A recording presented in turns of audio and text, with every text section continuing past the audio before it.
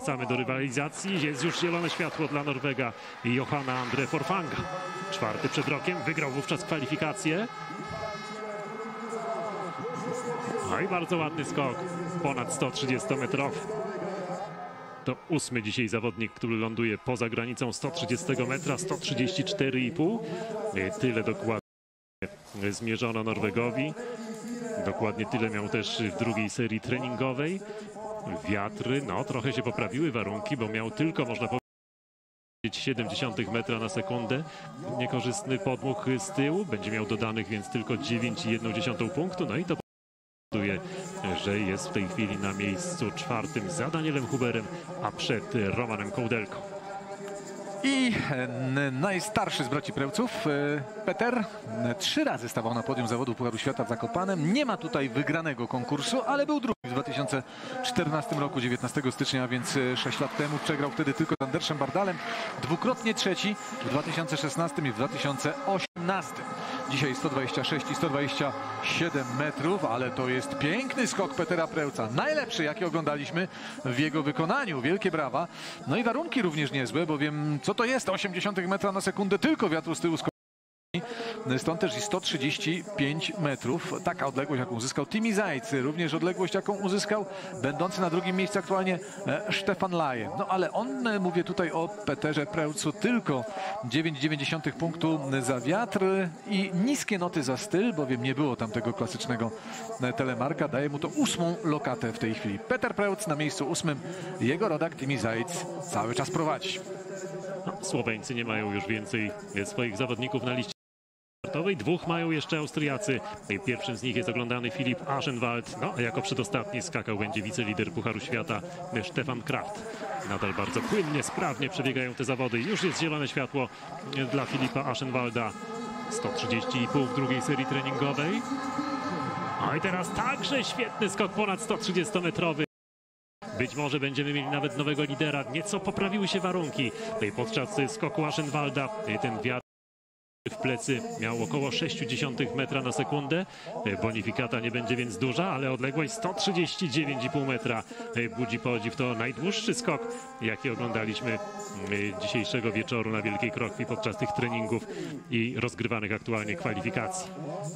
Aschenwald walczy też o miejsce w jutrzejszym konkursie drużynowym, bo u Austriaków także jest tam zacięta rywalizacja. No i oczywiście obejmuje prowadzenie, wyprzedza Timiego Zajca.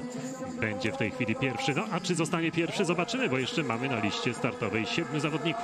Następuje zmiana belki startowej e, na 17, a więc o jedną belkę niżej.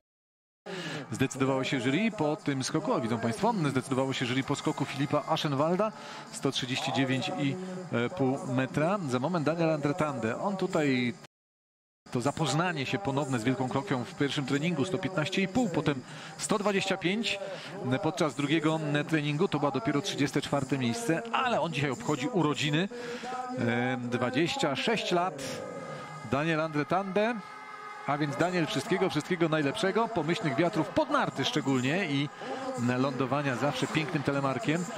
No a na razie, na razie metr na sekundę z tyłu skoczni. Ponad 135-metrowa odległość wymagana przed Tande, by gdzieś tam znaleźć się z przodu. On skacze oczywiście poza punkt konstrukcyjny na tyle, by zapewnić sobie kwalifikację do niedzielnego konkursu. Natomiast ani Aschenwalda, ani Zajca, ani Stefana Laje nie wyprzedzi tym sezonie dwa zwycięstwa. Wydawało się, że bardzo mocne otwarcie i że pójdzie za ciosem Daniela Andretande. Tymczasem potem to się wszystko delikatnie rozsypało. Co nie zmienia faktu, że trzykrotnie stawał na podium w tym sezonie. Jest siódmy w klasyfikacji generalnej Pucharu Świata, aktualnie na 13 miejscu. No i powiewają już biało-czerwone flagi i transparenty, bo czekamy na skok Kamila Stocha. Pięciokrotnie stał tutaj na podium zawodów Pucharu Świata w Zakopanem. Czterokrotnie na jego najwyższym stopniu. Po raz pierwszy w 2011 roku. Dzisiaj bardzo dobra forma w skokach treningowych. Był pierwszy w pierwszym treningu, drugi przegrał tylko z Dawidem Kubackim w drugim. I już Polak w powietrzu. Niezła jak na niego prędkość na progu. Walczy odległość. Bardzo ładny skok. Poprawne lądowanie telemarkiem. Przypomnijmy, obniżona platforma startowa z 17. W tej chwili kontynuowane są po tym świetnym skoku Aschenwalda kwalifikacje. No i z tej 17 136 metrów uzyskuje Kamil Stoch. Miał wiatr 0,6 metra na sekundę, wiejący z tyłu, dodanych więc będzie miał około 8 punktów. Ładne lądowanie, 3,19, 2 razy 18,5. No i czy wyprzedzi Aschenwalda? Zobaczmy do czego to doprowadzi. Jednak nie o punkty 0,4 za skoczkiem austriackim. Kamil Stoch na miejscu drugim, ale to tylko kwalifikacje. Myślę, że o jego formę, dyspozycję możemy być spokojni przed niedzielnym konkursem. Ale to był bardzo ważny ko- skok dla Kamila Stocha, bo on potrzebuje e, tego pozytywnych, tych pozytywnych wibracji, tego pozytywnego odzewu ze strony skoczni, że, że to wszystko funkcjonuje. Tak jak mówi Michał Doleżal, idź po prostu Kamil i skocz na luzie, a wtedy wszystko będzie dobrze. I było dobrze. Mariusz Lindwik, dzisiaj 121,5 i 128 metrów. Również niezły skok reprezentanta Norwegii, 21-letniego skoczka, który w tym sezonie no, zwycięstwa w Innsbrucku i Garmisch-Partenkirchen, to Państwo pamiętacie, trzeci w Klingenthal w Bischofshofen, a więc cztery razy na podium w zawodach Pucharu Świata. No, w tej chwili uzyskał 128 metrów, a więc powtórzył swój e, drugi skok treningowy. E, Podczas tego drugiego treningu Lindwik zajął 18 miejsce. E, W tej chwili, proszę bardzo, jest 18. Aschenwald prowadzi. Kamil Stok na miejscu drugim, a Timi Zajc jest na miejscu trzecim. Czterech Polaków z awansem do niedzielnego konkursu. No a teraz czekamy na skok naszego lidera. Lidera w tym roku, zwycięzcy turnieju czterech skoczni Dawida Kubackiego. Osiem razy z rzędu na podium w zawodach Pucharu Świata. To wszystko Państwo wiedzą. No ale popatrzmy na spokojnie na skok Dawida. Niesiony tym dopingiem publiczności leci daleko i ląduje poza 130 metrem zdecydowanie gdzieś tam około nawet rozmiaru tej skoczni, około 140 metra. Czekamy na pomiar odległości, tak o pół metra przekroczony ten rozmiar obiektu 140,5. Dawid Kubacki potwierdza, że nadal jest w znakomitej formie, nic nie stracił ze swojej dyspozycji. Przed tygodniem dwie wygrane w Titize Neustadt, no i nadal Polak skacze znakomicie. Tu trochę odjechała mu przy lądowaniu ta narta, stąd dostrzegli to sędziowie. 18,5, 19 w notach za styl, ale łączna nota 159,9 punktu.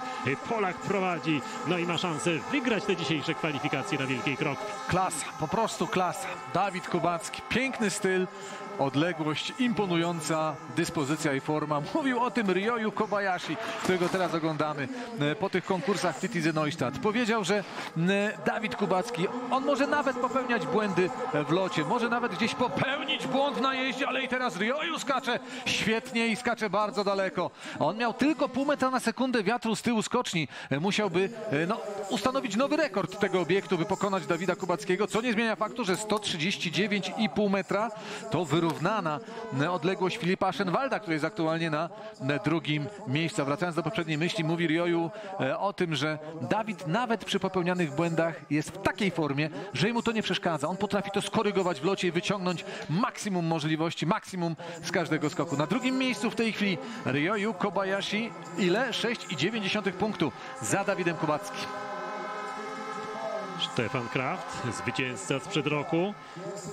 Dzisiaj w treningach, no tak dość przeciętnie skakał 118, 130 w drugiej serii treningowej.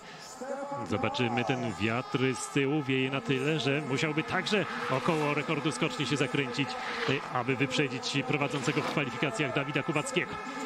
Czy stać na to Stefana Krafta? Walczy o odległość, to jest bardzo dobry skok. E, Też gdzieś tam około e, tej przerywanej czerwonej linii wylądowany. Rekordu oczywiście obiektu nie będzie.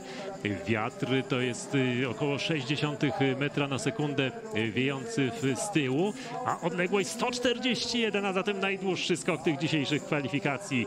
Jednak skakał w bardziej korzystnych warunkach od Dawida Kubackiego. Będzie miał mniej tych dodanych punktów, problemy przy lądowaniu, stąd te niskie noty za styl. Nie ma możliwości, aby wyprzedził Polaka. Przegrywa także z Ryoyu Kobayashim. Stefan Kraft jest na miejscu trzecim.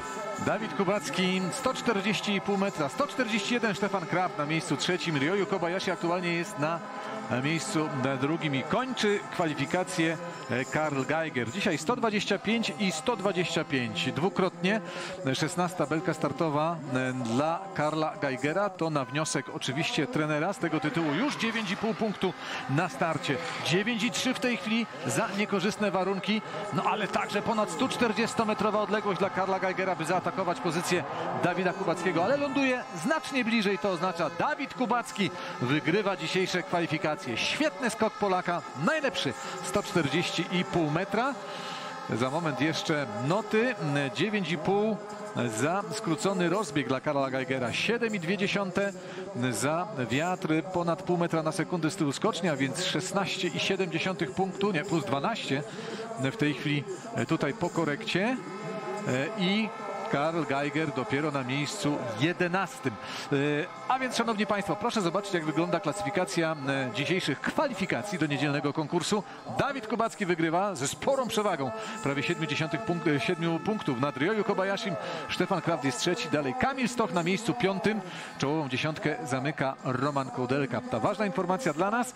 W konkursie e, zobaczymy Maćka Kota, e, Alka Zniszczoła oraz Piotrka Żyłę, Kamila Stocha i Dawida Kubackiego, a więc pięciu biało-czerwonych będziemy podziwiać w niedzielnym konkursie indywidualnym. No i trzeba przyznać, Sebastian, że ta liczba pięciu Polaków w konkursie Pucharu Świata na Wielkiej Krokwi w Zakopanem to nie jest powód do dumy, to nie jest y, liczba, z której byśmy się cieszyli. Cieszymy się z wygranej Dawida Kubackiego, ze znakomitej formy skoczka urodzonego w Nowym Targu, mieszkającego w Szaflarach, z tego, że wraca do dobrej formy Kamil Stoch, że stabilnie skacze Piotr Żyła. No ale to, co dzieje się dalej, no troszkę budzi nasz niepokój. Kto będzie tym czwartym w drużynie? Czy czwarty dzisiaj Aleksander zniszczał, czy może jednak Maciej Kot, który w treningach skakał trochę lepiej od Olka zniszczoła i ma większe doświadczenie? No też y, trudną decyzję musi podjąć y, dzisiaj trener y, Michał Doleżal. No tak, no nie chciałbym być w skórze e, trenera. Musi podjąć tę e, bardzo trudną e, decyzję. 48 dopiero. Tak, 48 Maciej Kot. Widzimy ta 50, ten ostatni, który się zakwalifikował, Władimir Zograbski. Stefan Hula, 53, niestety bez Andrzeja Stękały, Kuby Wolnego i Nadama Niżnika w